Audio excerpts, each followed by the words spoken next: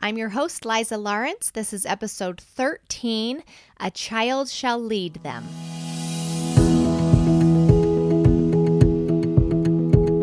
Welcome to Wonders and Miracles podcast, where we celebrate miraculous moments in everyday lives. I'm your host, Liza Lawrence, a wife, mother, teacher, and miracle lover. If you're new to this podcast, here's what we do here. Each week on Miracle Monday, we celebrate awe inspiring true stories from regular people like you and me. People who have experienced something surprising and wonderful that could be considered the work of a divine source. My desire is to help us recognize God's hand and His love in our lives, because the more miracles we notice, the more miracles happen. Thanks for listening to the show. Now let's celebrate wonders and miracles together. In the scripture, Isaiah chapter 11, verse 6, at the end it says, A child shall lead them. A Facebook group called Gifted Moms says, While we try to teach our children all about life, our children teach us what life is all about. All right, so the episode today features two stories where you will see examples where the child leads the way.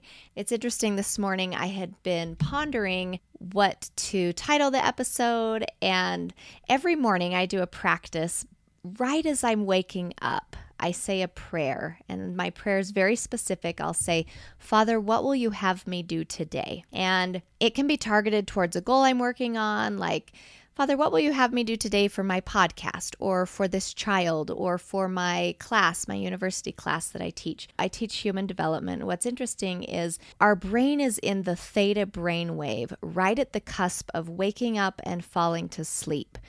And this brainwave is our most intuitive brainwave. It's our most spiritually open time.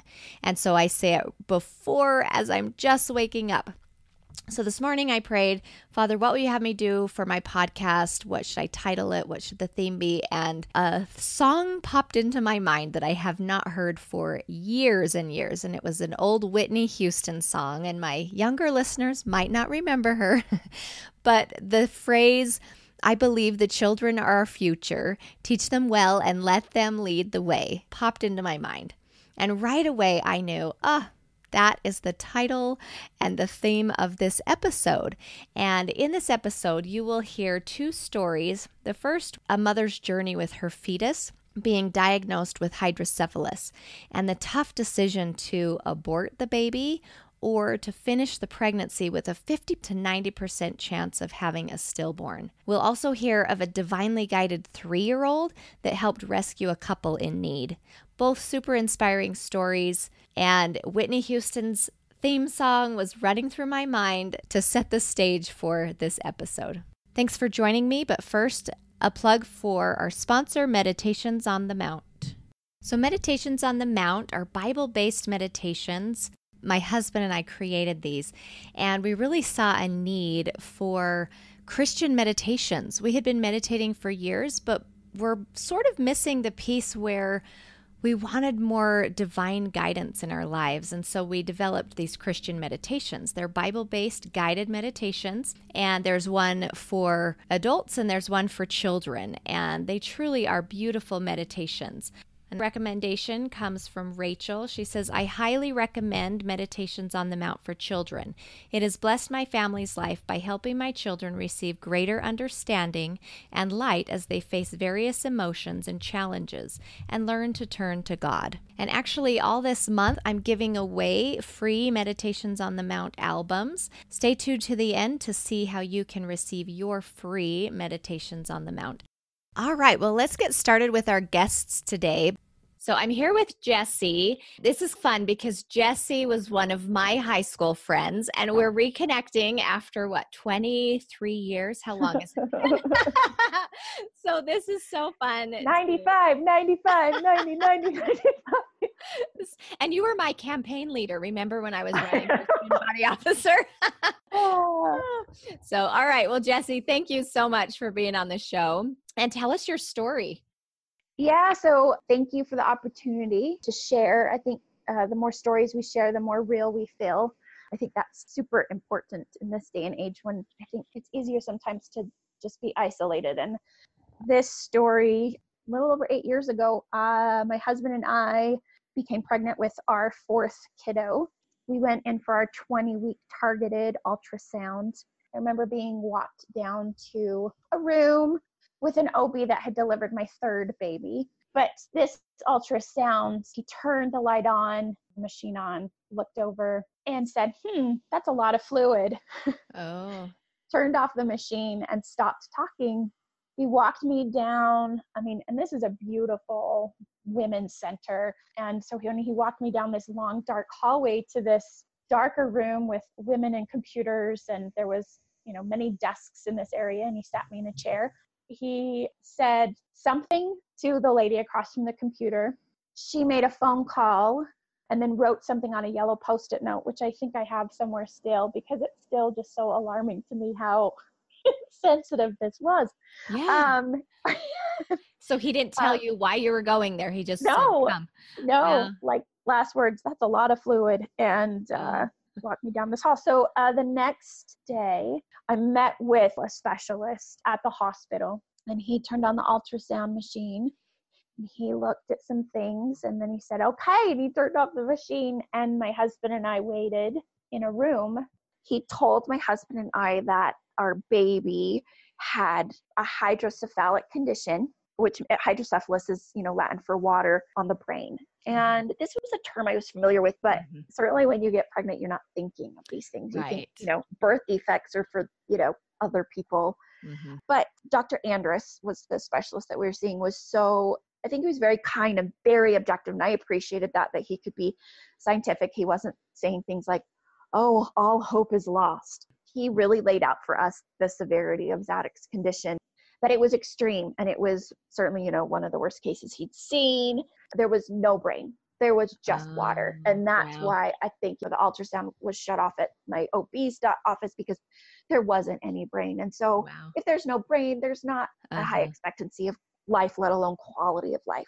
Dr. Mm-hmm. Andrus laid out for us that in a typical baby, they should have five millimeters of water, and Zadok's was already at 24 and a half millimeters of fluid. Wow. You know, in this consultation room, he laid this out on the whiteboard for us of 50 to 90% chance that Zadok, if made it to term, would be a vegetable, right? More surgeries to do a shunt, but Dr. Andrus really didn't think Zadok would have one, make it to term with Mhm. already a quadrupling of fluid on the brain than what was normal. And second, that if they did have him to term, we could operate on him and he'd have two to four days of life expectancy Wow. with this brain surgery. So Mm. it was yucky. didn't like I'll hearing bet.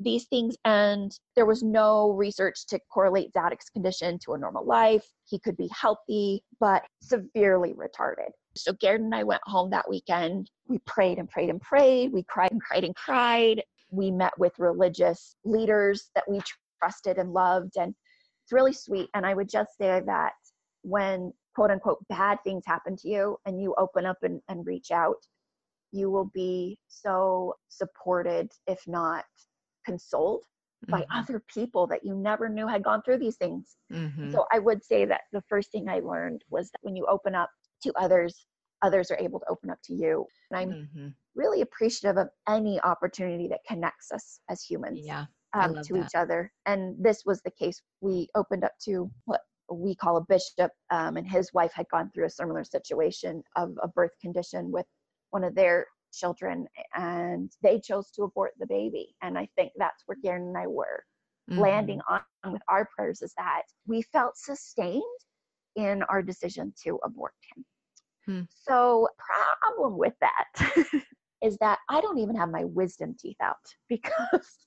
Uh-huh. I have a very hard time with medical procedures. That's funny. and so we had made the decision to abort Zadok and we felt sustained. I will never say comfortable or confident or that it was an answer to our prayers. We just felt sustained in that Mhm. decision. It had to have been the biggest decision. I mean, even Right. marriage.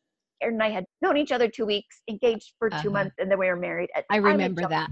Yeah, just Yeah. like yeah, So why fast. not? We found someone. Let's let's do that. And Uh-huh. with kids. Hey, yeah, why not? Let's have a kid.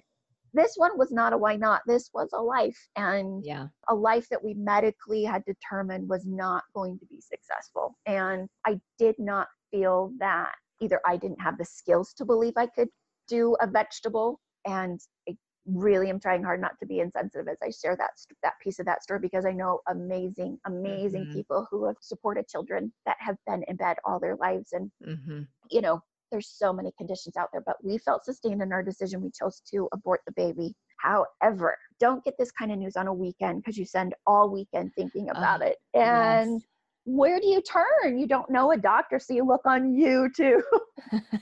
and that was horrible to look up what is the procedure of an abortion and where do we need to go and clinics we needed to find because it was not going to happen in a hospital and certainly it wasn't going to be something covered by insurance. And so mm-hmm. it was really traumatic. So Monday morning, we called back to the specialist to let him know we'd made the decision to abort. And he wasn't in the office that day, it was another specialist. And she said, Come on in and let's talk about it before you make this decision. We sat in her consulting room again and she, you know, listened to what we wanted to do. And she said, Well, okay, it's your decision, but can you wait just a minute? I want to go look something up. She came back with a piece of paper and she was holding it in her hands and said, I found a study of babies with hydrocephalus that was done in Ireland. 140 babies that at 20 weeks were determined to have hydrocephalus. Of those 140, 40 would be considered severe, same as Zadok's case. Of those 43, 40 died. Of the 140, there was 30 something that had made it to term Mm-hmm. And of them many had died in those first few months first few years but one of the babies that had made it to term turned out normal Wow. so i looked at Garen and i said that is my miracle because it's science Uh-huh. and i felt very much like abraham and isaac the story from the old testament Hmm. i felt whatever i had gone through that weekend to make the decision to abort him was Mhm. a huge sacrifice on my part because Mm-hmm. i couldn't do it i could not see myself doing it but i felt again sustained in this decision went forward to you know Take make action. the necessary exactly and then the doctor comes back and says but in this study science has Mhm. recorded and here's this one normal baby in ireland that hopefully i'll meet in the hereafter gave me hope Mhm. so I went home and said, nope, we can't do this. And I will tell you, many prayers,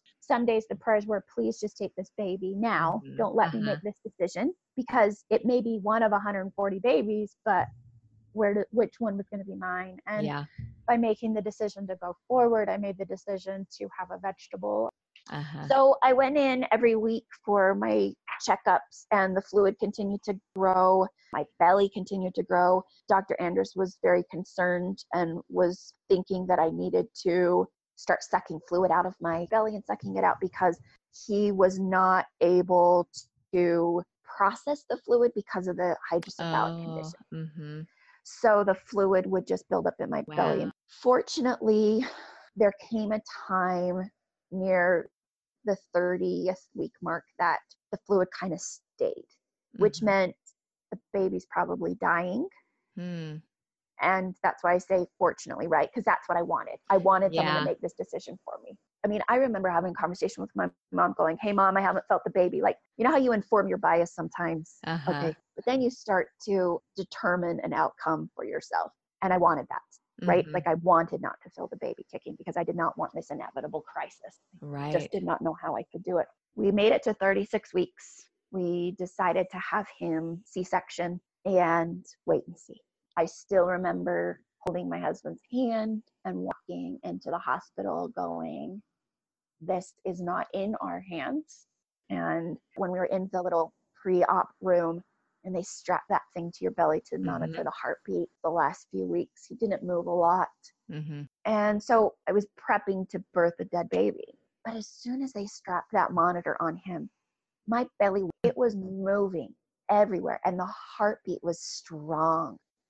I'm going, what are you, what are you saying to us right now? Like, you're not dead and you are fighting something. And it was certainly manifestation to me that he wanted life more than his mom did at that mm-hmm. point. We all, as moms, have had moments where babies are stronger than us.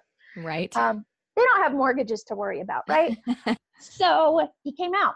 I remember hearing him cry and this is sad when you have a special case is that you don't even get to see the baby. Right. Mm. They literally just showed me his face and then put him through this little hole in the wall and sent him down to get testing and uh-huh. mm-hmm.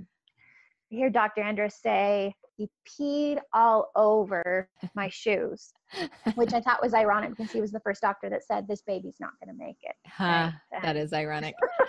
Very cute. Is, so, ugh, this was hard, right? Now he's alive. He cried. It was tender. He wants to fight to live. But what kind of life is he fighting to live? All these unknowns. He had brain surgery when he was two days old to put the shunt in. They kept him there for just about two weeks, which was really surprising. But Zadok was doing really well and still eight years later he has the same shunts and that's mm. a huge huge miracle shunts are not known to last very long um, right. um, they fail because mm-hmm. they're a foreign substance in a human body mm-hmm. but that's a huge miracle to us we took him home blind and deaf right he wasn't mm-hmm. supposed to see he wasn't supposed to hear i remember recording in my journal that this blind baby uh-huh. is looking at his mom i mean he sees me Mm. He sees his sister, he sees his brother. And the seeing was amazing to me because how can mm-hmm. he be blind? And we took him home without optic nerves. The doctor saw yeah. no optic nerves, so we assumed they had not been developed. And since that time, he's got weak optic nerves, but they're there. And he has glasses and he hears beautifully. He's I'm very grateful for educators that believe that kids can learn mm-hmm. if they're given love and support. And he memorized his alphabet when he was 18 months old. He's always had this beautifully articulate language. Mm. He does not understand very much. Yet, like he doesn't have analysis. If you ask him why something mm-hmm. happens, he'll ask you the question that you just asked him. Uh-huh. He can memorize many lists of things. Like if you were to ask me what's the miracle of this mm-hmm. story, yes, there's medical miracles, but you and I both know the miracle was the heart. I still remember sitting in my library at my house and writing in my journal.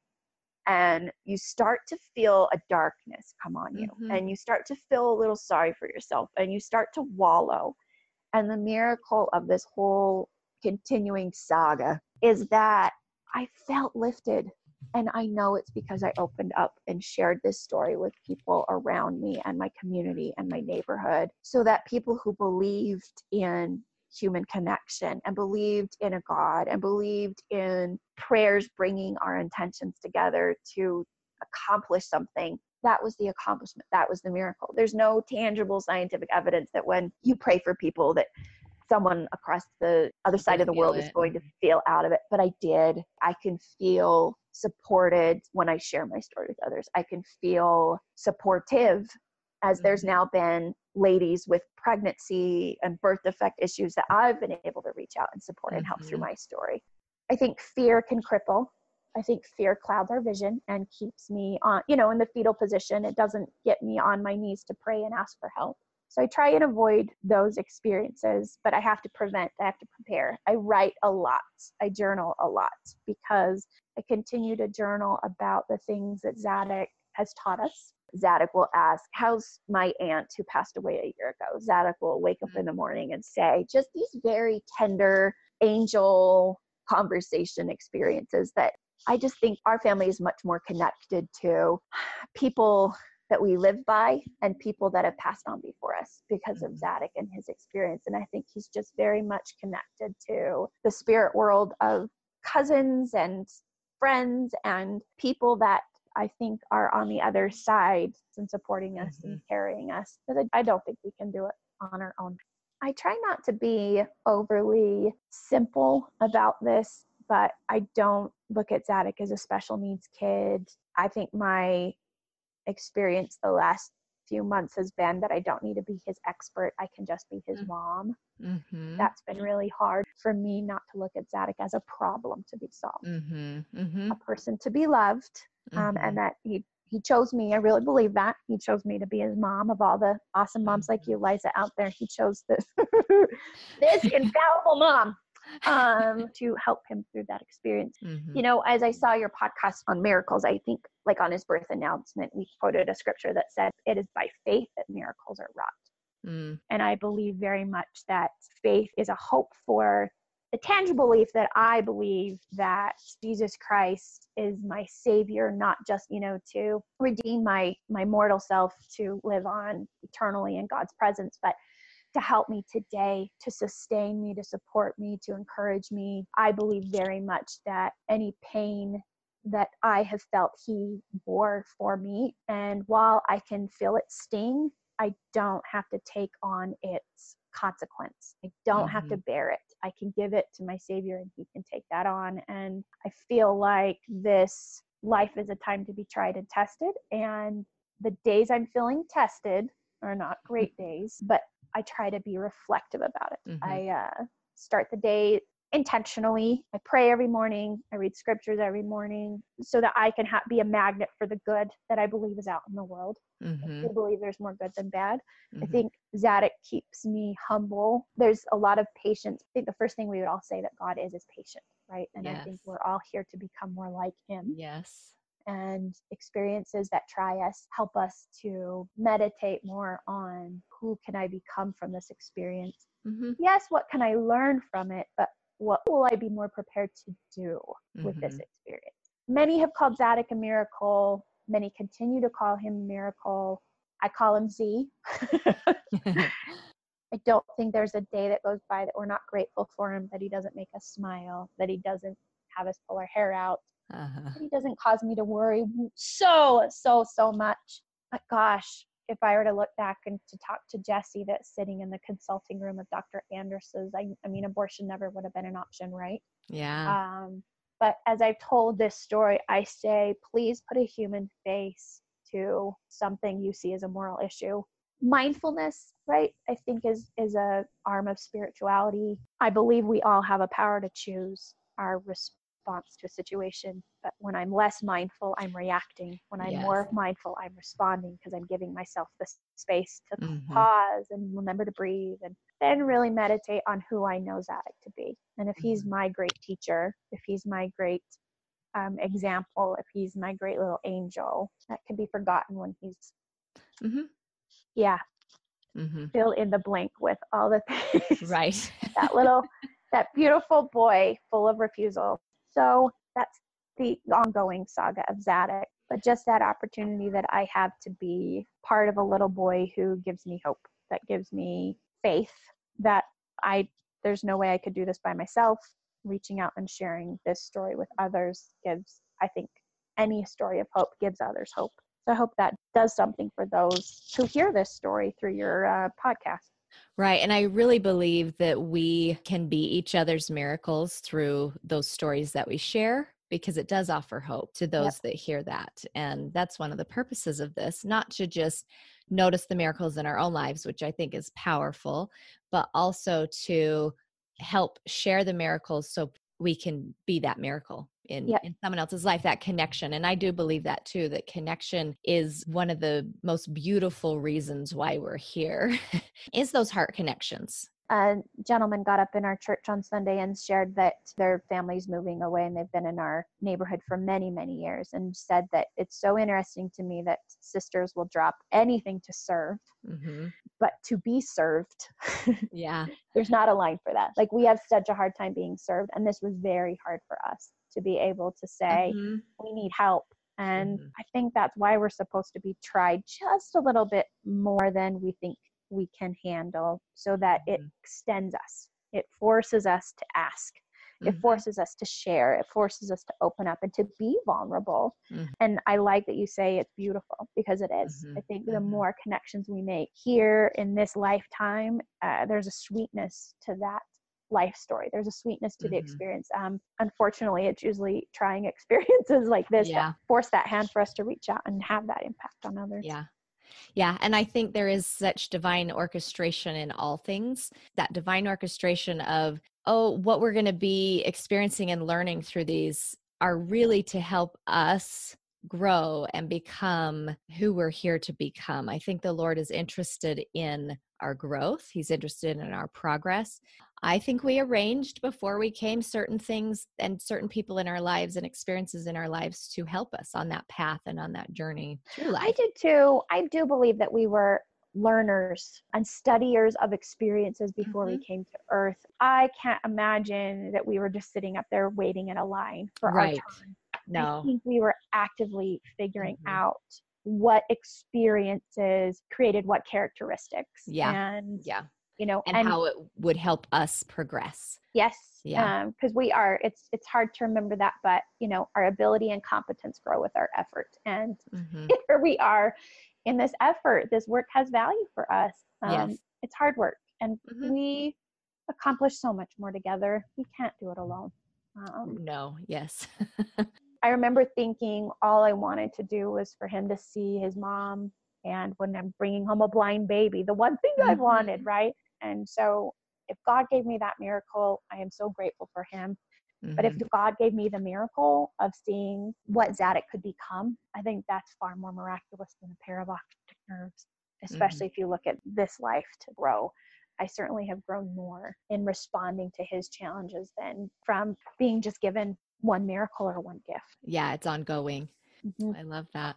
Well, thank you, Jesse, for sharing your journey and the things that you've learned and this miraculous experience. And it truly is a miracle that he is eight years old. Yeah, June 14th, he turns eight. So he's got a few more months. And just know, Liza, like it's over now. Like the miracle's over. There's no more. I'm kidding, of course. Mm-hmm. Um, right. That right. right. I think that's what's miraculous is how our hearts change and how yeah our mindsets change. So, yeah. Oh, well, thank you so much. This is beautiful. And I'm excited to share this. And I know it will touch the lives of those that hear it. Thank you.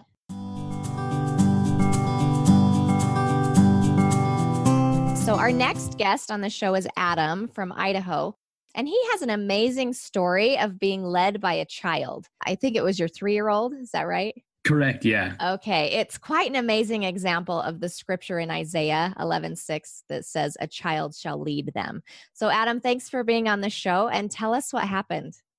Excellent, happy to be here. So on Sunday night, my uh, family and I were driving through kind of uh, the rural areas of southern Idaho, a lot of farmland. Um, it was right at sunset, really pretty time. We really just wanted to go and kind of observe God's beauty of the fall colors in the mountains um, nearby where we live. So we started driving up a dirt road farther than we've ever gone before. Uh, there's plenty of turns to go left or right, and my three year old, in order to help keep her engaged in what we were doing, uh, we had her give us directions of where to go. There's no particular place we're trying to get to. So she said, go left and go right. And the last time we gave her an option to turn, she paused. Mm-hmm. I remember that. And she was thinking, my wife and I thought it was so cool that she was considering which way should we go. And looking back that's probably when she was inspired to pick a certain direction but she chose to go straight down this road instead of turning left. And so we listened to her and we drove straight and we drove down the road for about 10 minutes. At this point we're about 20 miles outside of town and really pretty far away from anybody else including other vehicles and houses or anything. And we went around the corner of this dirt road and came upon two people and we slowed down because they were flagging us over and i didn't understand what they were saying at first until one of them said we're deaf. They were both deaf people. Really? Yeah. And at first i was thinking oh no like i don't understand what they're saying. I hope they're like mentally okay. I'm really nervous. There's nobody else here. Mm-hmm.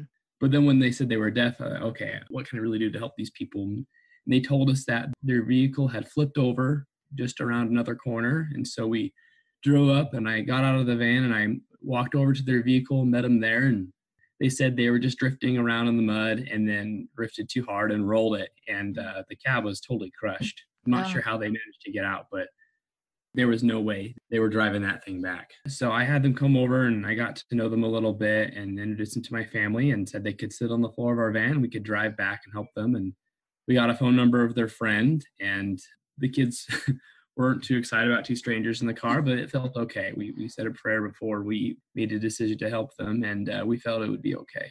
And we we contacted their friend, said we meet at a local church building, and so we drove them back down. And it was a you know like I said about a 20 minute drive till we got there, and and then we met up with their friends, and it was great. Lots of hugs, and we wished them well on their way. The next day, I met with one of the friends that picked up the couple, and he told us he was so grateful and was shocked how far away they were from anybody from help and asked how we knew how to get there. And i said it was it was my three-year-old. She knew where to go and she just was inspired by the spirit and by god and we just listened to her. And he told me how much he, he appreciated that. And so i went inside and kneeled down to my daughter and said there's some people that we helped out last night. And they said thank you so much. And i want to tell you thank you. And and even though she's three you could tell she she knew that she had done something right and that was really really cool to see that is really really cool have you done something like this before where you've let her choose how to drive which road to turn on a little bit yeah you know uh-huh. but it's it's been it's been seemingly inconsequential before right know? right not a big but interesting that she paused for a minute and chose to go straight. Yeah. And I'm glad we listened because honestly, I didn't want to go straight. There was another road I had been on that I felt would lead to this cool canyon. I wanted to go there instead. So, uh huh. So, so, I had you- to humble myself and just be willing to drive the way she wanted because it really wasn't a big deal where we went. But it turns out it was a big deal. It was a big deal. Such a big deal for those people. Absolutely. And and how interesting that they were deaf that they might not have been able to necessarily call for help. Were you in a canyon that you had cell service even? No, not at all. And it yeah. was yes, not only no cell service, we didn't have cell service to, for a while driving out of there, but also it was very cold. It was getting dark quick too. So I'm not going to predict that oh we saved the day and it, and it kind of necessarily, but I don't know how I would get out of there without experiencing some serious health problems due to the cold. I'm sure you did save the day. I would go as far as to say that was divine intervention and that you were there when you needed to be there. And who knows if they offered a prayer, please help us send somebody. Yeah. I'm I'm sh- I would be surprised if they didn't, but who knows, but how neat that your daughter was tuned in enough to direct you there. I just think that's amazing. Has it made you think of anything as far as relationships with the Lord or as a parent any insights with this experience? You know, you hear a lot of stories. Well, I don't say a lot of stories, but you hear stories about people who pull over on the side of the road to help somebody, and then like they get shot at or something, or they get hurt. You know, and that's made me hesitant to want to help people that I see in trouble. You know, and I, I feel sometimes like when I make those decisions, like I'm the Levite priest or you know, or the mm-hmm. temple worker who goes past the guy on the side of the road instead of being the Samaritan. Mm-hmm. And uh, and so we pray up as a family sometimes for opportunities just to to be in the right place and to help people. And so I feel like this was one of those opportunities. Was just we were in the right place at the right time. We we're able to help somebody out and do the Lord's will in a moment where He needed somebody to be there. That's beautiful. I do love that. Well, thank you so much, Adam, for sharing this story. It's such an inspirational story. I love it. Thank you. All right, another show wrapped up. It was Lucky 13 show. Thanks both to my guests Jesse and Adam. One thing I wanted to mention with Adam, his wife runs a blog and it's called Raw Motherhood. And it's just real life stories of the rawness of motherhood, and it's really cute and inspirational. So, check that blog out. Her website, and I'll put it in the notes on iTunes. I'll spell it out. This is her website address. It's rawmotherhood.wixsite.com slash real life stories. Here we go. We're going to spell this out. R A W M O T H E R H O O D. There's raw motherhood dot Wix site, W I X S I T E dot com slash real life stories, R E A L L I F E S T O R I E S. There's pictures of this little three year old and their family and their adventures. So check out that blog and uplift your day with more fun stories. As always, remember to support the podcast by sharing with your friends, subscribing to the podcast, giving it a rating and a review. Go to iTunes. I have on my Instagram account how to do a rating and review on iTunes. Instagram handle is Wonders and Miracles. Follow me there.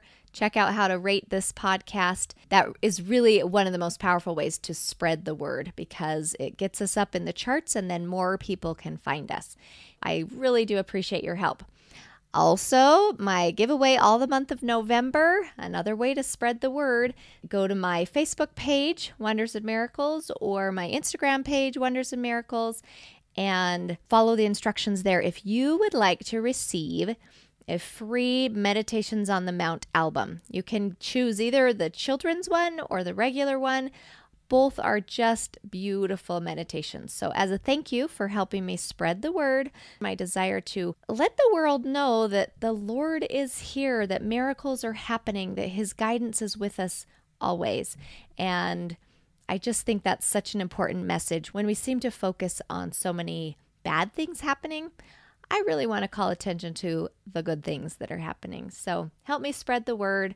I love that you are listening. Thank you for your support. And for my fan of the week, the review that I'm going to read today, this is a review on iTunes, a five star rating from Crunchy Vegan Mama. She says, This podcast shares beautiful stories of miracles from the perspective of everyday people like you and me. Each episode is as unique as the person who shares it, and yet each story teaches me more about myself and the way God works in our lives. Sometimes I'm moved to tears, but always I am moved to give glory to God for His mercy, love, and grace. I love listening and feeling uplifted and edified. I look forward to this podcast as it has become part of my Monday morning routine. My only wish is that I could listen to new episodes every day. Thank you, Wonders and Miracles podcast. So, thank you for that review and your support. Thanks for sharing the podcast with your friends and family on your social media. It really does help. Remember in Isaiah, it says, And a child shall lead them. And from the Facebook group Gifted Moms, while we try to teach our children all about life, our children teach us what life is all about. Thanks for spending time with me this week. I'm always so uplifted to share these stories, and I'm so uplifted to hear your feedback. And remember, if you have a miracle story to share, go to my website at wondersandmiracles.com and submit your story. I'm always looking for more miracle stories. And I hope you can think of a time when you felt God's love in your life and perhaps when you noticed a child teaching you. And as always, remember to notice and celebrate the miracles everywhere because the more miracles we notice, the more miracles happen.